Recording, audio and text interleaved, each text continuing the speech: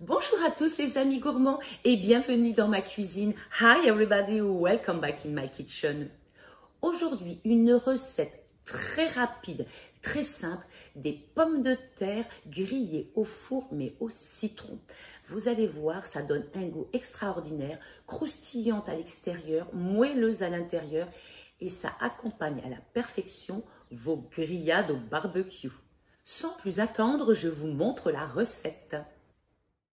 On prend des pommes de terre que l'on va éplucher, ensuite les laver et on va prendre un plat dans lequel on va mettre de l'huile d'olive. Ensuite, on va prendre les pommes de terre, on va les couper en quartiers et on va les disposer dans le plat.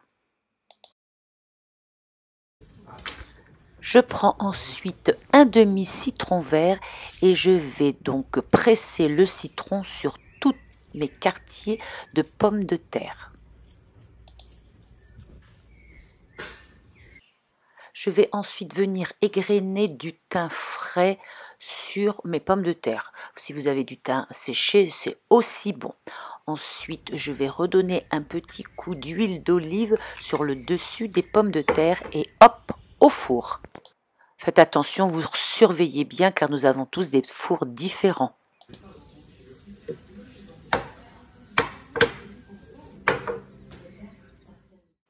Une fois mis dans le plat de service, on sale à notre convenance, on mélange bien l'ensemble et pourquoi pas ensuite le servir avec une viande grillée, des saucisses, à vous de choisir.